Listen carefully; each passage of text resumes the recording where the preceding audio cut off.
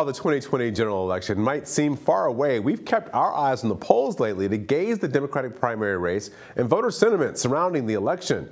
But 2016 left a lot of Americans shook as then candidate Donald Trump won the presidential election against Hillary Clinton, one of the biggest upsets in American history.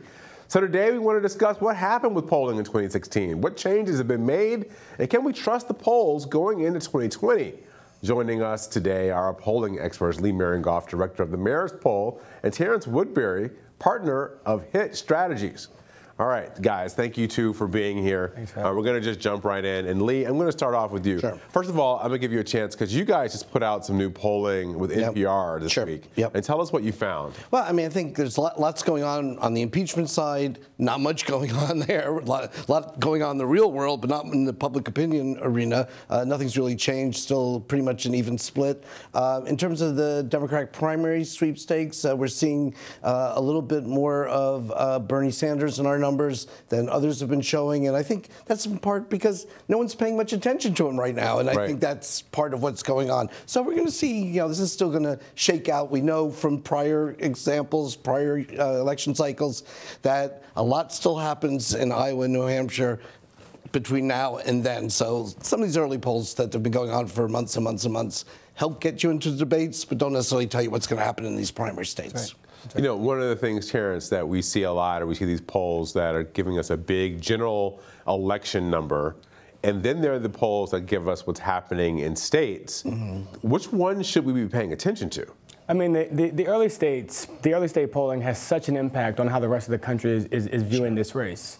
Um, and, and as far as as far as you can gain some momentum in New Hampshire and in, in Iowa, South Carolina, Nevada, the rest of the country pays attention to that. The same way, uh, the same way as, as they begin to vote, the country begins to begins to swing in line with, with, with the results of what's happening. Yeah, and, no- and, and no Democrats gotten through the nomination without winning either Iowa or New Hampshire. So Well, Bill Clinton But didn't with the- win New that- Hampshire. That's the asterisk. Right. Iowa didn't it just count. felt like it, right? Iowa didn't count. The comeback hit. That's you right, know? that's right. It's- it's- Yeah, Iowa didn't count because of Tom Harkin, and he sort of won New Hampshire by losing New Hampshire. Right. Right. I mean, I think this is one of the questions, which is where candidates' place in the order also matters, right? so you exactly take a look at somebody like Vice President Biden, Yeah. who is dominating in the national polls, has been from the moment he got in the That's right. race.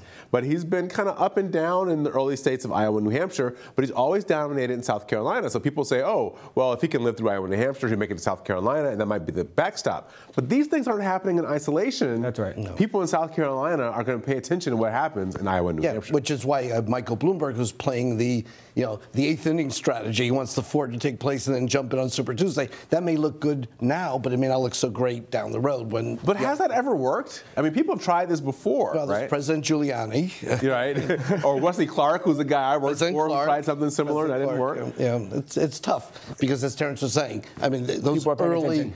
Those early events really get a lot of attention. That's right. uh, as Donald Trump did uh, four years ago in the uh, in, in, in the early rounds. But Terrance, should we be paying attention to any of this stuff? I mean, 2016, as we started out, 2016 kind of snake bit everybody, and people are feeling like, wait a minute, do, does, do polling does polling even matter All right. anymore? I got I era? got I got to defend my industry a bit here. Yeah. Okay. Okay. Because because I mean, in, t- in 2016, quite frankly, the polls weren't that far off. There right? you we, go. we have to talk. We have to talk a lot about how the polls are being reported in the media. There you go. As opposed to what, the- to what the poll results were. Okay. And, and far too often we saw the media reporting a two-person race, and in the real world, this was not a two-person race. That's right. And when you and when you and, when you include the the the, fa- the third-party factor, we actually saw Hillary polling at 47, 48 percent. Well, Hillary finished at 48 percent. Well, you know what's funny is I had conversations back when I was just a you know political pundit floating around the cable nets. I would have conversations with hosts of shows saying you gotta ask the ballot question right. because I keep hearing from Democrats Okay. who are not firmly in one camp or another. They are not just Okay. thinking about Hillary. They might be thinking about somebody. Yeah, else. and, but let me uh, jump in on that, and I agree with what Terrance was And saying. the ballot have four names on it. Yes. four That's big right. names. And, and, and in some states, like in 2000, that made with Ralph Nader, that made a big It a difference when you're talking about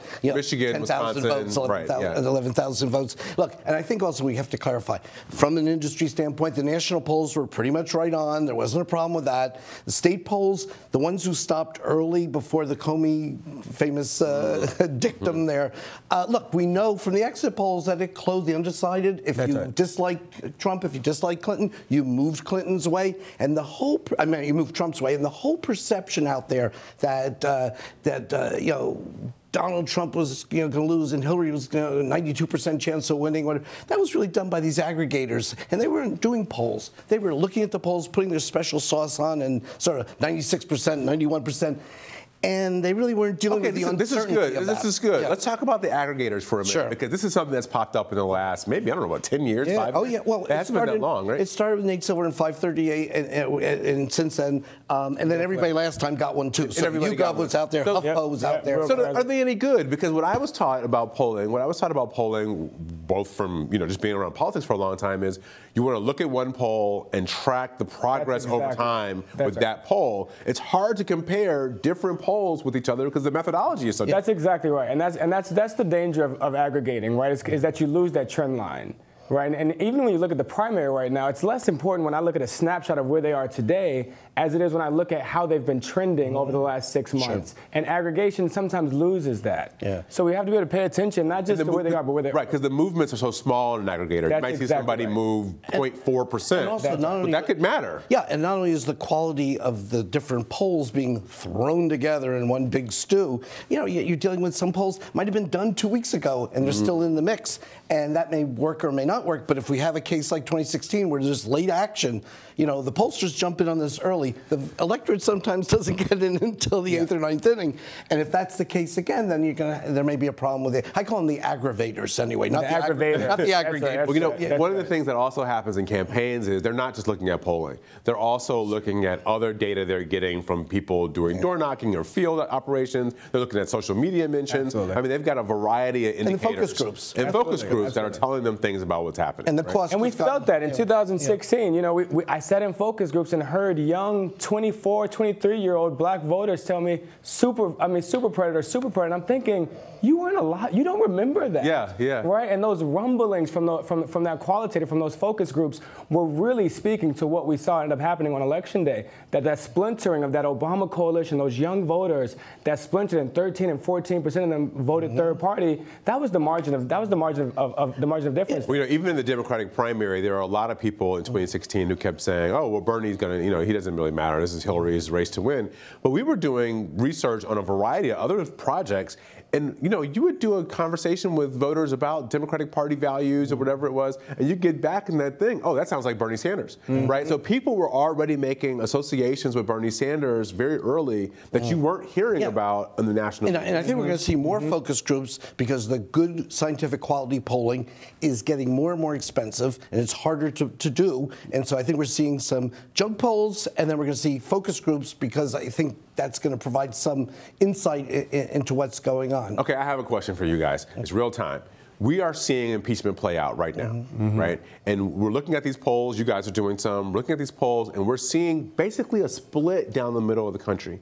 I have a little suspicion that this impeachment um, cauldron is going to be is the, is the closest approximator we're going to get to, next November. Because right now, when you ask people a head-to-head question, they're like, "Oh, Donald Trump versus my idea of whatever these people are." I don't know that much. right. They're kind of thinking about this in a fantastic or philosophical way about who they'd vote for. But when you're asking people right now to make a choice, do you keep Donald Trump or not right. keep Donald Trump? We're seeing that split right down the middle. Yeah, and it's all about right now.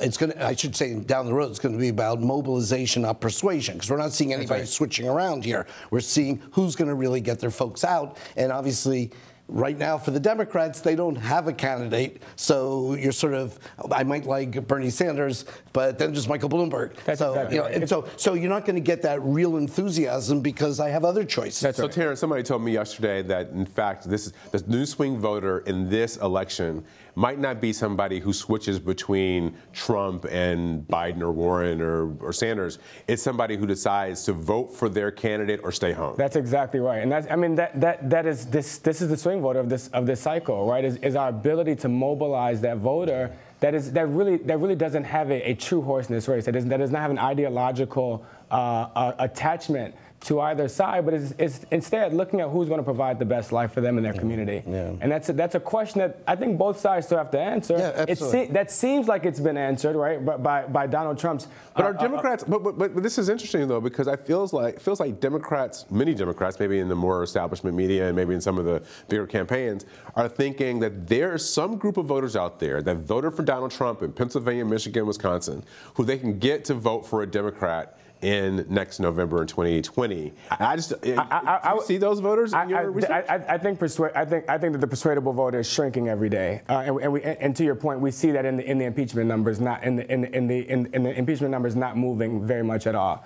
But I, I do think that there is a swing voter that, that voted third party in mm. Wisconsin and in Pennsylvania. That is a younger voter. That is that is that is that is, that is not a, a, a, registered Democrat or a registered Republican, but does need to be persuaded to get into this to get into this race. And to our earlier discussion about the Democratic primary field, there's a place where people have not made up their minds. So Yeah. the, the toss-up, the horse race polls are showing, you know, this one with this, this one with that. But when you ask people, have you made up your mind yet? That's You right. know, 60, 70, 80 percent say no. So we're going to see potential for lots of movement there. So And is that's there- the volatility. And is there any other volatility here when we look at young voters? Because we've got Generation Z voters coming online every day as That's they right. turn 18, Yeah. uh, who never voted before. So it's hard to know what they would have done four years ago because they didn't vote four We years could- ago. But we could also look at, at look at what happened four years ago, and, and Donald Trump won voters that that, that, that became voters between, between 18 and 22 that became eligible since 2012. He won those voters, Yeah, so that is a swing voter right there